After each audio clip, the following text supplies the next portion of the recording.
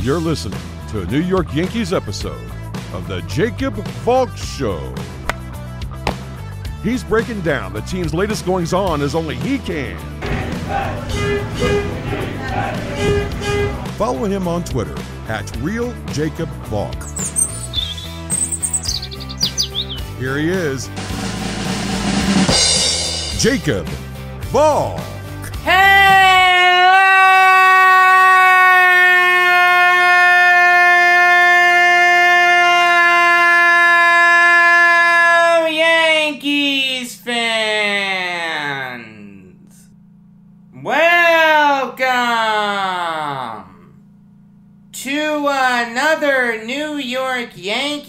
Episode of the Jacob Valk. I am the Jacob Valk, and you're not. And maybe that's a good thing.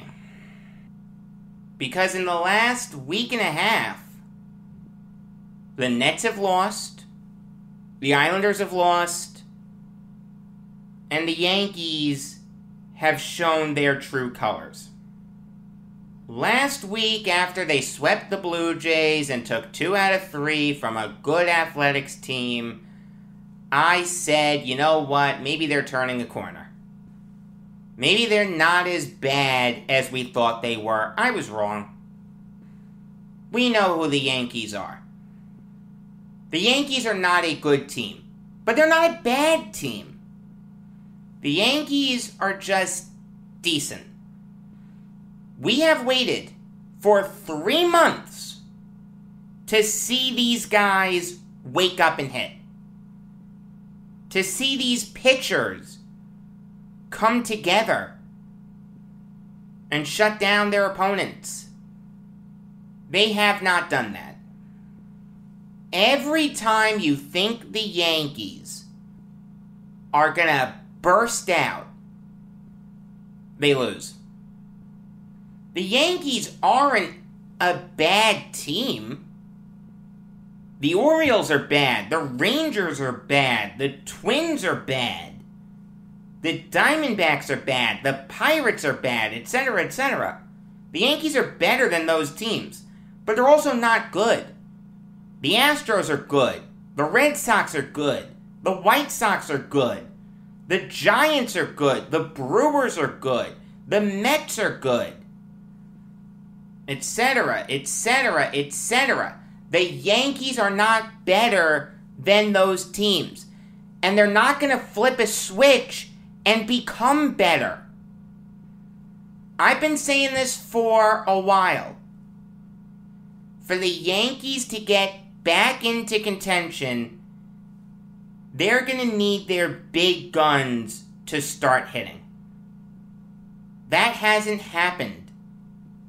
Luke Voit looks nothing like the guy who led the majors in home runs last year. Gleyber Torres has regressed epically. Gio Urshela has been solid, but nothing special. DJ LeMahieu has been solid, but nothing special. The notion that these guys are going to suddenly flip a switch and turn the Yankee season around is incorrect. It is a false assumption. It will not happen. It's been three months. If they haven't turned it around by now, they're not going to. Okay, the notion that all of these guys are going to get hot and stay hot long enough for the Yankees to claw back into the playoff race is ridiculous. The notion that Gerrit Cole alone can lead the Yankees to the playoffs is absurd. Behind him, the Yankees pitchers are good, but they're not great. I like Jordan Montgomery, but he's not great. I like Domingo German, but he's not great. Jameson Taillon doesn't seem like he's going to work out. I'm not giving up on him 100%, but I'm skeptical. Michael King gives up too many runs in the first inning. That's the last thing on earth you want from your starter. You never want to start a game in the hole. Before your team even has a chance to hit, you're losing. That's not a good place to be. I mean, all you have to do, if you want me to prove my point, is just look at what happened this past week. The Yankees take care of business against the Royals. They win two out of three. Would I prefer to sweep? Yes, but I'll take two out of three. Just win series. I'm okay with that. You travel to Fenway Park. A huge series.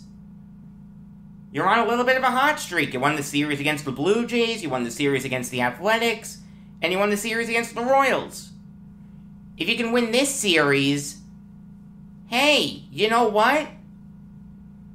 We've got something here. Instead, you get swept. You only score seven runs in the whole series.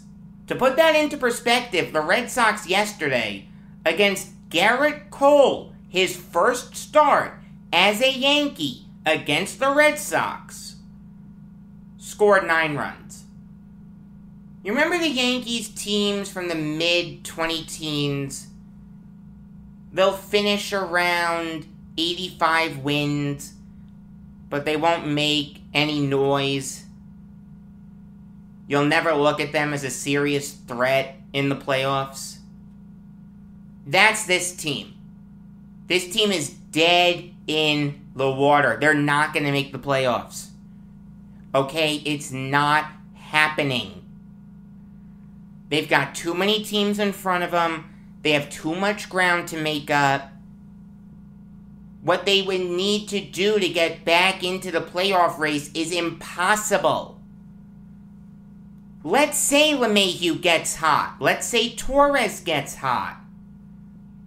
Let's say Voit gets hot. Let's say Urshela gets hot.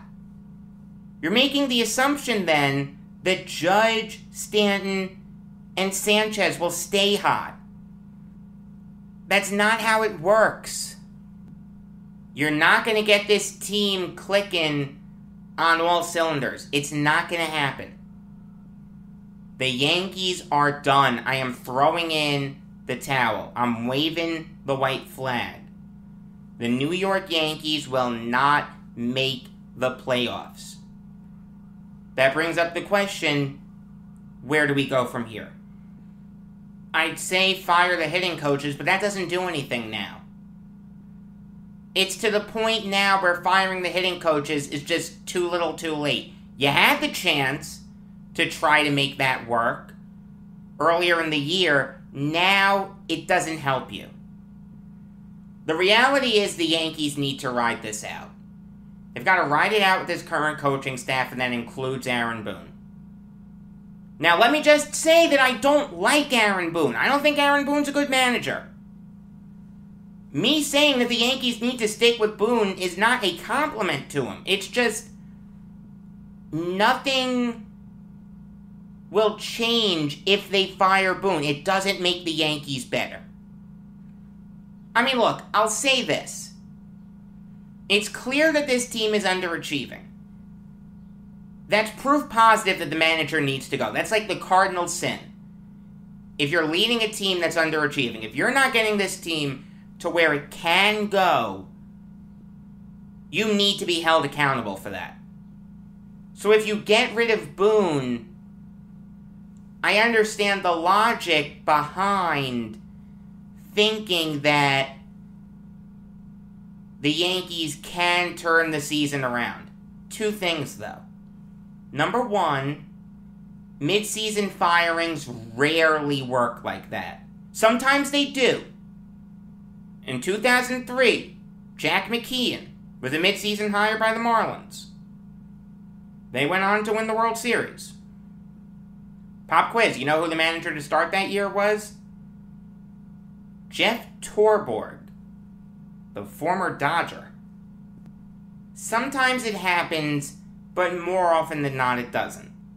I mean, I'll say this if you have a top managerial candidate ready to go, and you've gone through back channels, and he said to you, Yeah, all you have to do is fire Boone, and I'm ready to sign the contract. You can do that, but that doesn't solve the entire issue with the Yankees because Brian Cashman needs to be held responsible too. You don't want Cashman making another managerial hire. You don't want Cashman firing Boone and hiring a new manager, and then the owner fires Cashman, and the GM is forced to keep the manager. That doesn't work. If you're gonna fire them both now, and they should be gone, okay? I don't see how they're back next year. You can do it, but again, it doesn't change anything. You're no better. It's too late. You've missed the boat. We're too close to the trade deadline. So even if Hal Steinbrenner has a candidate in mind to take over for Cashman, that guy would need to hit the ground running and do a lot of legwork on trades in a very short period of time. I'm willing to let Cashman and Boone ride out this year. Not because I think they can turn this around. I don't think they can. I just don't think the Yankees have another choice. I just don't think it helps matters. So, with that being said, where else can the Yankees go? I was listening to Moose and Maggie today on WFAN, the best show on that station. Maggie threw out a couple ideas. Number one, rearrange the infield. From first to third, go Voit, Torres, Urshela, LeMahieu. Because I think it's pretty clear that Gleyber Torres isn't a major league shortstop. He led the American League in errors committed by a shortstop last year with nine. He's currently leading the American League this year with 11. That's who it's designed to help. And sure, I'm okay with it. I don't mind trying it. The season's lost anyway, so let's try to find a place for Torres because it's not short. I'm with you there. The Yankees have a lot of guys who aren't good in the field. Miguel Andujar. Is Miguel Andujar a good outfielder? Come on. No, he's not. You have him in there because you have no choice. His bat is better than Gardner's and Frazier's put together. You've got to find a spot for him. It's not third. It's not DH. That's Stanton. I don't think Andujar can play first. It has to be left. It's not like the first baseman they have is any good. If you want to try Andujar there, I don't mind it, but Luke Voit is not a good fielding first baseman. I don't think he's terrible. I don't think he's as bad as some people make him out to be, but that play against the Red Sox, allowing the runner to advance to second on the pop up, that's inexcusable. You put up with it because of his bat, but you know what? He's only hitting 217 this year. Again, you keep thinking he can turn it around, but at some point you've got to put it all together. So look, we're changing around the defensive alignment of the infield help the Yankees? Sure. But it doesn't do much. There is a real analogy for this, I just can't think of it. The only thing I can come up with is this you're bleeding from 10 different places, and all you've done is fixed one bleed. The guy's still bleeding from nine places. You're not done. Like, that doesn't do much. There's still a lot of work to do. The second idea she had would be really popular among Yankees fans. Call up the former top prospect Estevan Florial, the Yankees need a center fielder. We all know it. You can put Andujar in left, Florial in center, and Judge in right. The thing is, though, while it would be a popular move, I don't think it would work. This year in Scranton, Florial is hitting just 219. In Somerset, he wasn't much better. He was hitting 229. He was getting on base at a decent clip. The slugging is there, the speed is there. He's not great in center field, but he's not awful. At this point, you live with it. Defense is the least of the Yankees' problems right now. Okay, if you're winning a bunch of games, then talk to me about improving the defense. But the Yankees' issues are way, way, way beyond defense. So I'll overlook the glove. I can't overlook the average, though. 219 in Scranton? He struck out 40 times in 28 games. He does seem overmatched by AAA pitching. So while it would be exciting to see Florial, I don't think it helps the Yankees a lot.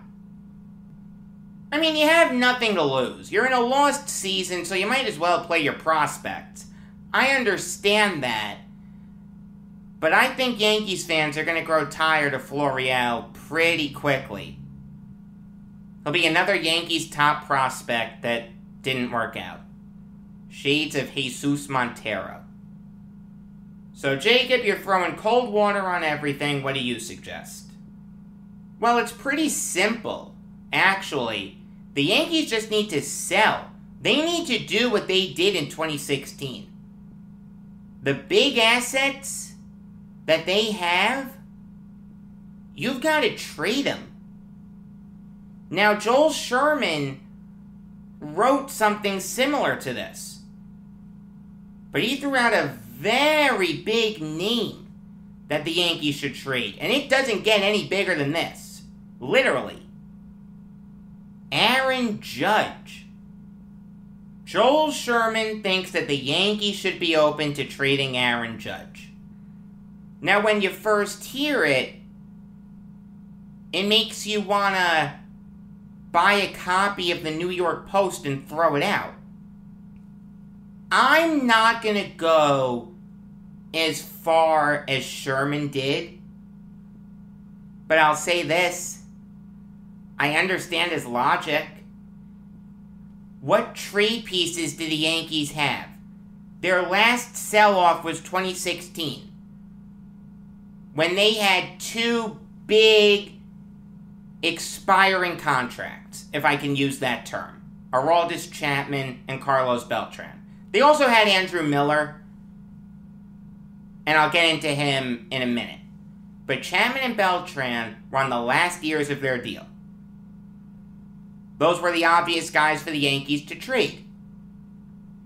And they did it. They got good hauls for those guys. Gleyber Torres has had some good seasons for the Yankees. I don't think anyone's giving up on him. Obviously, he's in a slump right now, and he'll never be mistaken for Ozzie Smith in the field, but I'm not giving up on him. I think Torres can still be a regular contributor for the Yankees. Carlos Beltran, they traded for Dylan Tate. Dylan Tate was later traded to the Orioles for Zach Britton.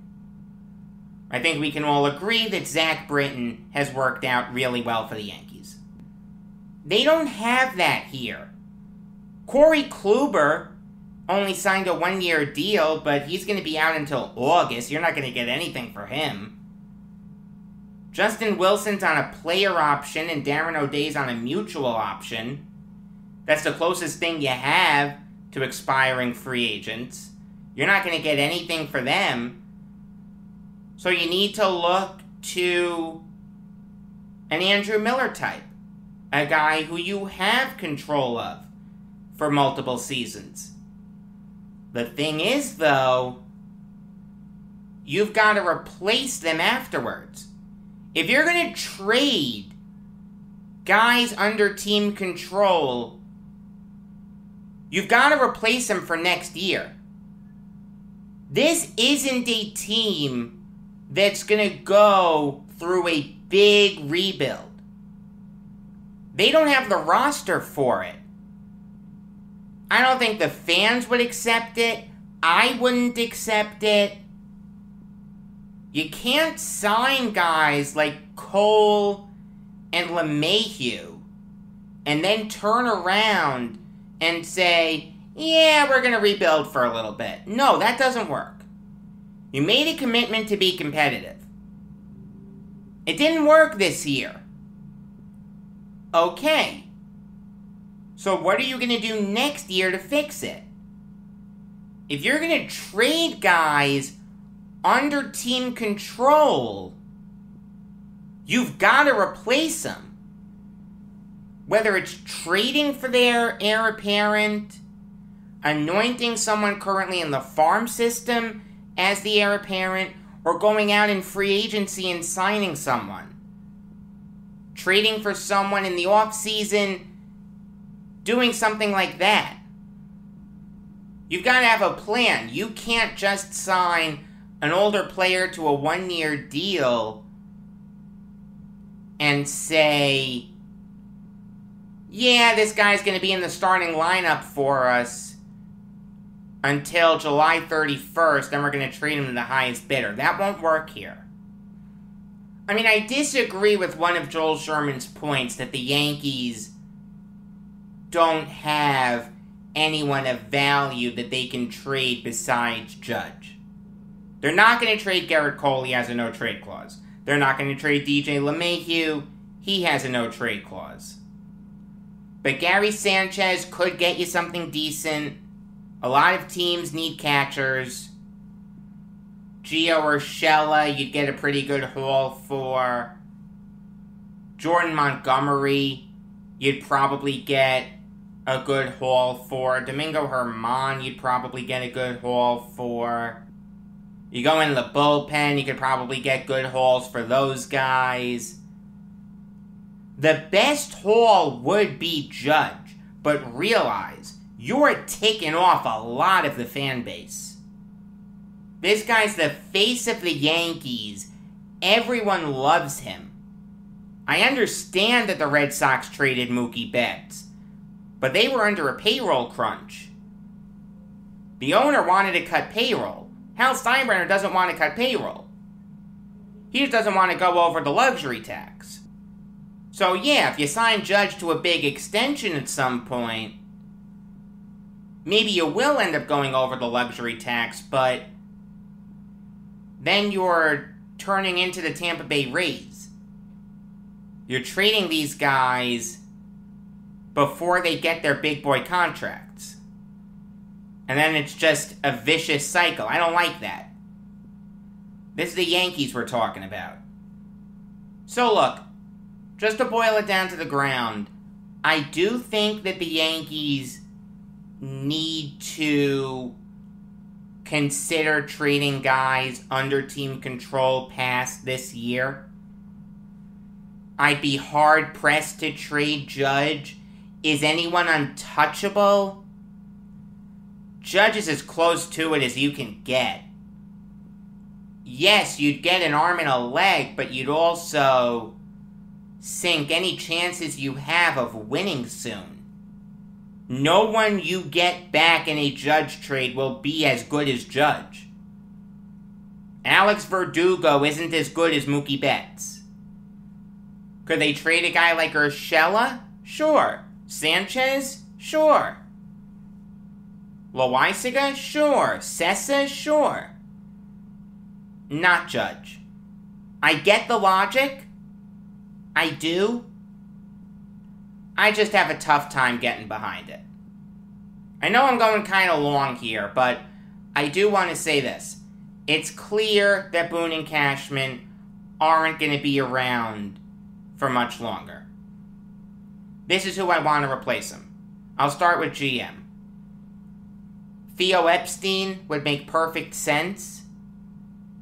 He's shown a fantastic ability to combine analytics with traditional baseball.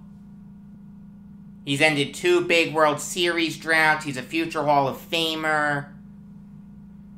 I don't know if he wants to be a GM again, but Epstein would be perfect. He was in Boston, he was in Chicago, he knows how to win with big payrolls in big markets.